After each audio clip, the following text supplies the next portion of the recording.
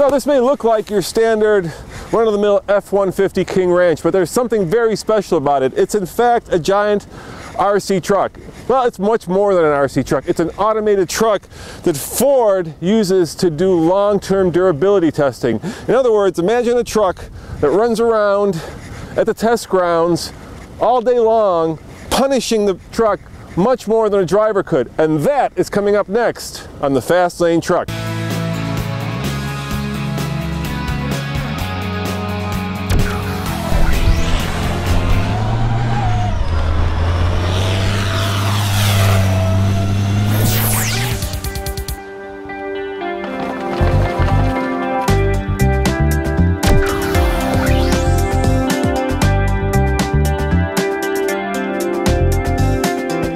We are all clear. He's going to go ahead and press the play button. It's going to find its put itself on the path. You know, I was a little bit off when I parked it here, so it's putting itself on path. And uh, we do use a ping, pinion and a ring gear to move the steering wheel, so it's a little noisy. But it, uh, the noise is really what you're perceiving is uh, you know more than anything else. So and it's going to follow a planned path over this set of bumps. This is somewhat representative of what a car might do on durability. The truck uh, bumps and potholes are a bit more severe than this uh, for the most part.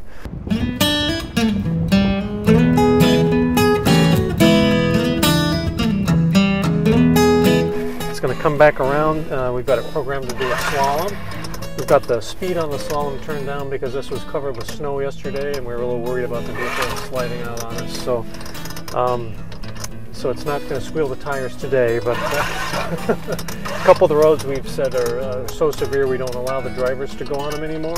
So uh, if we had not had that uh, the robot, we probably would have needed four drivers a shift to to accomplish that test.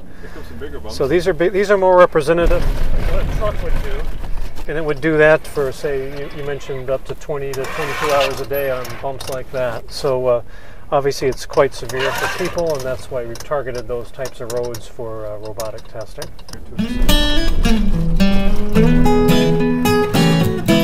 And do you ever find that um, the autonomous system actually wears out before the truck wears out? You know, that the, that the actuators. Well, we're still devel- we're still developing our uh, life uh, life of the uh, components, but they've they've been good for multiple tests so far. Uh, we haven't actually worn out any of the uh, the VCUs or anything like that. So the, big thing that uh, the wiring, uh, we did replace all the wiring, but uh, that, that's what uh, wears out the first.